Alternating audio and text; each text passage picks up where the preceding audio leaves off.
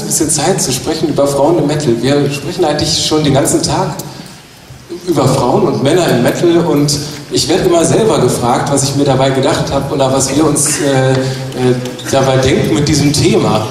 Und dann fragen immer die Leute, ja, was ist denn jetzt mit den Frauen? Und äh, haben sie jetzt schwerer oder äh, gibt es denn da so wenige? Und wir sehen ja, dass es eine, einige gibt und dass die äh, starke Frauen sind, die schon zum Teil ganz lange dabei sind. Und ich dachte, dass wir einfach anfangen, über Stimme zu sprechen, weil ihr alle vier eben Sängerinnen seid. Und alle, für euch alle hat das Singen ja aber auch was mit enorm viel Kraft zu tun. Bist du eigentlich schon immer so gesungen und warum hast du damit angefangen?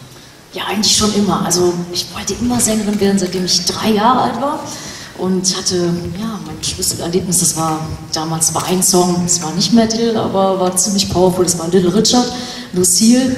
Ja, und dann habe ich gerade den Plattenspieler bedienen können und das ging laufend, also jeden Tag. Und meine Eltern hatten schon Angst gehabt, dass ich da nichts anderes mehr machen möchte, nur Musik hören. Halt die Kombination, die Musik und die Fans, also ja, das treibt mich auch immer an, egal ob es mir schlecht geht, ob ich krank bin, also die Stimme ist immer da. Selbst wenn ich fünf Minuten vor dem Konzert denke, boah, ich bin 40 Fieber, Stimme total weg, dann, wenn ich die Fans sehe, dann, dann geht alles. Äh, meine erste Frage geht an Sabina. Äh, du hast ja mit Holy Moses den Thrash Metal geprägt, bist seit 81 dabei, wenn ich richtig informiert bin.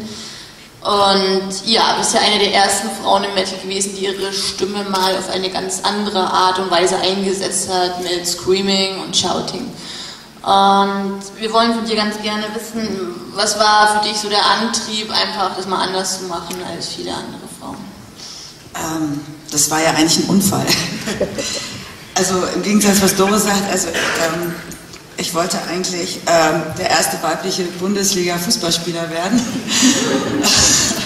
Und ähm, Musik habe ich zwar gemocht, also ich habe immer die, die alten, die Platten von meinem Onkel gehabt, wie Stones, äh, Smokey Sweet, Jimi Hendrix, was damals halt so war. Die Doro kennt die Zeit auch noch gut. Und, äh, und äh, ich hatte eine Band, seitdem ich 15 war, die hieß Disaster. Ähm, da habe ich aber Bass gespielt. Und ähm, ich war damals total beleidigt, dass mein äh, Gitarrist, der auch damals mein Freund war, ähm, zu unserer Schulband Holy Moses gegangen ist. Und ähm, dann habe ich halt in diesem Proberaum rumgehangen, weil meine Band ja dadurch nicht mehr da war. Und ähm, die haben an dem Tag ihren Sänger aus der Band geschmissen. Und äh, weil er mit weißen Clocks zur Probe gekommen sind, ist. Und das war damals nicht Hard Rock. Also da hieß es auch noch nicht Heavy Metal. Und ähm, der Bassist, damals auch dieser Chef von Moses, hat gesagt, so, du hängst hier herum im Proberaum und äh, es war halt in Aachen äh, und äh, du singst jetzt. Und ich habe gesagt, ich, ich kann nicht singen. Ich habe das auch nie probiert. Und bin halt ans Mikro und habe halt ja, einen Ton da reingegeben und habe mich selber erschrocken, was da rausgekommen ist, weil das eigentlich nur der Beweis war, ich kann nicht singen. Und äh, Ramon sagte damals, äh, mach das bitte nochmal. Und ich habe gesagt, hä, was will denn der von mir? So, ich wollte mich wieder auf die Couch setzen, Bier trinken. Und, äh, und er hat gesagt, nein, mach das. Und ich habe das dann nochmal gemacht und dachte mir so, naja, dann will ich wenigstens so klingen wie Ozzy Osbourne, was natürlich auch nicht funktioniert hat. Und äh, hat mir die ersten Lurries gegeben und ähm, ich habe das halt da versucht, ja, habe da also diese Töne zugegeben. Und äh, dass daraus mal sowas wird und dass ich 30 Jahre später, ja jetzt fast 30 Jahre später hier sitze und äh, dass wir so viele Platten gemacht haben, dass das überhaupt jemand hören wollte, war mir also damals nicht klar, dass das also eigentlich aus einem Unfall diese Stimme geworden ist. Also das ist dann schon sozusagen an, an irgendwelchen anderen Trash-Bands zu der Zeit orientiert, okay, die machen das so auf die Art, ich probiere das jetzt auch mal, oder? Es gab ja keine anderen Trash-Bands. Also äh, man muss sagen, zu dem Zeitpunkt hat man ja auch noch Hard Rock gesagt.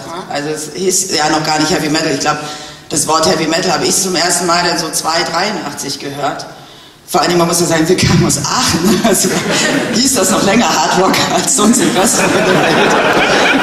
Und äh, ja, äh, also ich denke mal so ab ja, so 283 habe ich dann zum ersten Mal Bands wie Venom oder ich glaube dann irgendwann noch Slayer oder Possessed gehört. Ähm, aber vorher, also auch Trash Metal. Also irgendjemand hat mal gesagt, ich weiß nicht, es war das erste Interview, was ich glaube ich, 84 gemacht habe. Und da hat er zum ersten Mal einer gesagt, ihr macht Trash. Und dann war das so für mich Trash, weil ich konnte das TH noch nie aussprechen. Und ich dachte so, Müll, dieser Arsch, der will mich beleidigen, so was, ich mache Müllmetal, das ist ja voll gemein. Und der so, nee, das heißt Trash. Und ich so, was, wie? Ja, und äh, ja, wie gesagt, ich wusste nicht mal, dass man das so nennt. Und hat sich das Schreien für dich heute verändert? Also ich weiß, weil du, weil du auch noch einen anderen Beruf hast heute und äh, für dich, wir haben darüber mal vorher drüber gesprochen ähm, und das würde mich interessieren, ob Schreien für dich da immer noch dieselbe Bedeutung hat und was da so passiert ist in diesen vielen Jahren.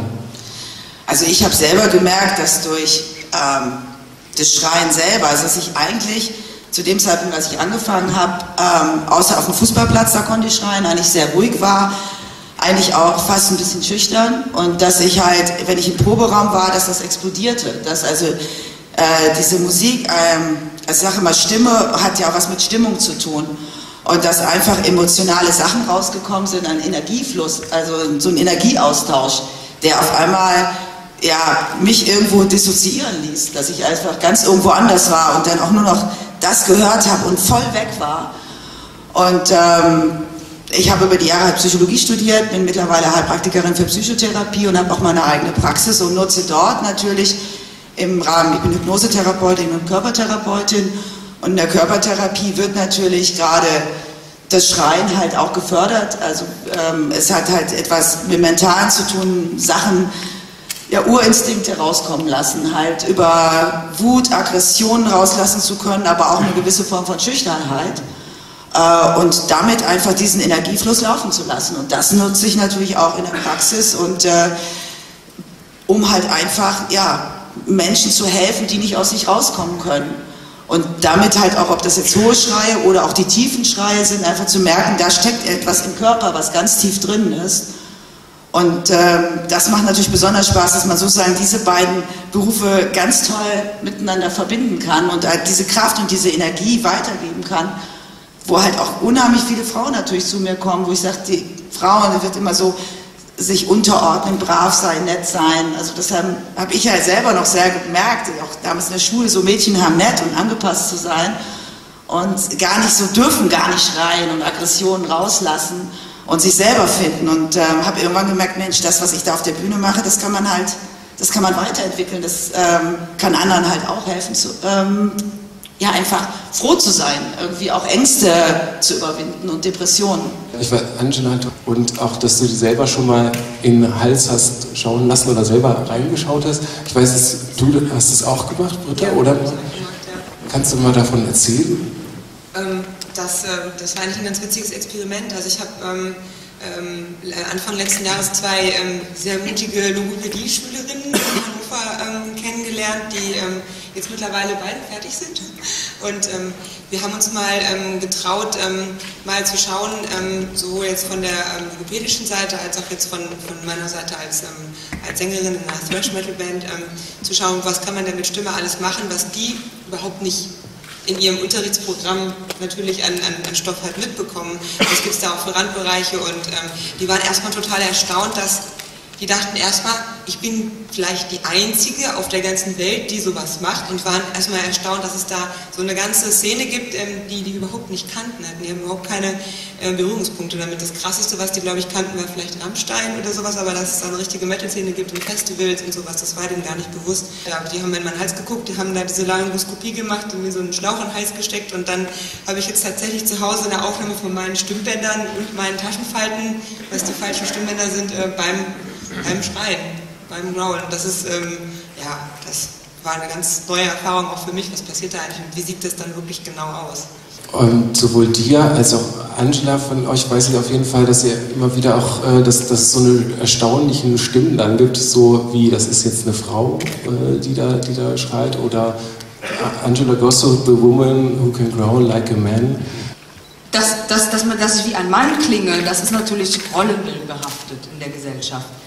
Männer haben die tiefe, dunkle Stimme und die dürfen richtig wütend sein und die dürfen aber richtig brüllen.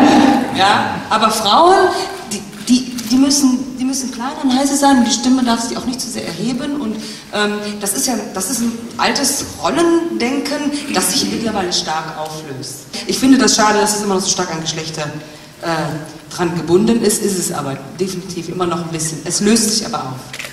Also ich wollte nur mal sagen, wie wir angefangen haben, das war so Anfang 80er und da war zum Beispiel, da war das ganz große Mode, dass halt die Männer so singen wie eine Frau, dass man total hoch singt und also Rob Halford von Judas Priest, das war halt der Gott und alle wollten immer ganz hoch singen und wollten sich dann halt die, die Eier halb zuschnüren, damit sie ganz hoch da singen können, eigentlich so wie eine Frau. Und, Eigentlich sagt der Satz, du klingst ja wie ein Mann, nichts anderes aus, als dass jemand nicht weiß, wie eine growlende Frau klingt. Ähm, da ist der Vergleich natürlich eher da, ähm, es tun mehr Männer als Frauen, also klingen die Minderheit, die Frauen in dem Fall, wie die Männer und nicht andersrum. Man könnte ja auch sagen, alle Männer, die growlen, klingen wie Frauen. Das ist ja, hat, ist ja austauschbar eigentlich. Das hat nur was mit Hörgewohnheiten zu tun. Und ähm, ja, der Satz für eine Frau ganz gut, den hört man immer weniger. Also, Also wir mussten uns noch richtig, ich musste mich noch was trauen 1990 so ein bisschen. So hat sich das angefühlt mit meiner ersten Band. Das war noch so ein bisschen äh, verbotene Frucht und äh, war halt irgendwie was ganz Krasses. Und, aber ich glaube, heute, wenn man heute eine Band ansteigt als, als brüllende Frau, ist das nicht mehr ganz so äh, revolutionär. Also ist schon, ist schon geändert. Mhm. Doro, als du angefangen hast, äh, um dann nochmal anzuknüpfen, war das dann, war, war, das da ein Schritt, war das eine Emanzipation, jetzt äh, auch so eine Rockerin zu sein und damit äh, rauszukommen? Also ich habe einfach das gemacht, was ich gefühlt habe. Und auch ganz am Anfang, so wie die Sabina eben sagte, wir wussten auch gar nicht, dass wir Metal machen. Ich habe einfach das gemacht, was halt in mir war. Und ähm, ja, und dann erst später meinte dann auch jemand, hey, seid ihr eine Metalband oder Heavy Metal hieß es ja damals noch. Ja, und dann dachte ich mir, oh, das fühlt sich cool an. Und, aber eigentlich haben wir nur das gemacht, so das ganze Spektrum. Also für mich hat Heavy Metal halt auch immer Freiheit bedeutet, der zu sein, der man ist und halt auch ja, von, von super, super sensibel bis super hardcore und brutal. Aber ich habe immer gedacht, Musik steht sowieso über allen Dingen. Also für mich ist das jetzt nicht wichtig, dass ich Frau oder Mann bin. Ich glaube, wenn ich Mann wäre, hätte ich genau dieselbe Musik gemacht. Hätte vielleicht den einen oder anderen Text vielleicht ein bisschen anders gemacht, aber sonst. Also ich das, was ähm, Doro auch eben schon sagte mit den, mit den hohen Stimmen zum Beispiel. Wir hatten eben schon oben so ein Gespräch, dass sie gesagt haben, eigentlich ungewöhnlich, weil Metal eigentlich, die meisten Männer, das hat sich ja jetzt leider, muss ich sagen, geändert, dass viele kurze Haare haben, ich stehe aber nur auf die langen, ähm, dass eigentlich die Männer eigentlich, ich sag mal, eher Frau sein durften. Also ich meine, also Ende der 70er, es waren ja auch mal die langhaarigen Bombenleger, wurde das ja erstmal so gesagt. Und äh, dass eigentlich die Männer im Metal Frau sein durften, weil sie durften halt lange Haare haben. Ähm, wie Doro sagte, jemand wie Rob durfte, hey, Rob Halford durfte hoch singen. Bloß es hat längere Zeit gedauert, dass die Frauen gemerkt haben, dass gerade die Metal-Szene unheimlich offen ist. Also dass eigentlich aus meiner Sicht beide Formen des Geschlechtes eigentlich in dieser Metal-Szene super gut aufgenommen worden sind. Bei mir damals so bei den ersten Fotosessions, da waren dann halt die Jungs, die standen dann immer Schlangen, die meinten, hey, du kannst mir das Make-up machen und so, weil ich hatte da mehr Übung drin. Ja, und dann meistens war ich dann der Letzte, musste eine Fotosession machen, meistens total ungeschminkt, Haare nicht gemacht, aber die Jungs alle Haarspray und Make-up, Fingernägel. Naja, also es war... Ja, Stift bei den Männern. Genau. Du hast ja eben von Bloodbound of the Damned gesprochen und äh, das fand ich sehr bezeichnend, dieser Blutsbrüderschaft, äh, die dir erst passiert ist, sage ich jetzt mal, weil das ist ja eigentlich was, was man ziemlich sonst auch kennt. Also wenn man sich ähm, Texte von Manowar oder auch einigen anderen Bands anschaut, dann ist ja Brothers of Metal, was hat, das haben wir ja schon viel gehört, aber es sind eben die Brüder. Ähm, ähm, Bloodbound of the Damned ist neutral. Ja.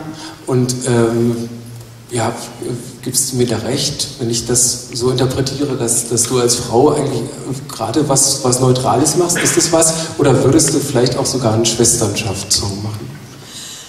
Äh, Das ist mir schon wieder fast zu extrem, weil ich einfach denke, die Schwestern, die da sind, und ich sehe das ja jetzt auch hier, ähm, dass unheimlich viele Frauen da sind. Und ich denke einfach mal, das kommt dabei automatisch rüber. Ähm, Ich finde, das in die eine oder in die andere Richtung zu schieben, wäre total falsch, sondern man soll einfach spüren, dass es für uns alle da ist und äh, dass, ob das jetzt männliche oder weibliche Fans sind. Und ich freue mich natürlich, wenn ich merke, dass durch diese Texte und durch die Attitude auf der Bühne, durch die Energie, die da äh, ausgetauscht wird, einfach sich beide Geschlechter angesprochen fühlen. Weil es wäre genauso extrem, wenn man sagen würde, ich werde jetzt zur totalen Metal-Feministin und äh, bloß die Männer weg, weil dafür finde ich Männer viel zu nett. Also und äh, cool. Das heißt, das wäre totaler Schwachsinn.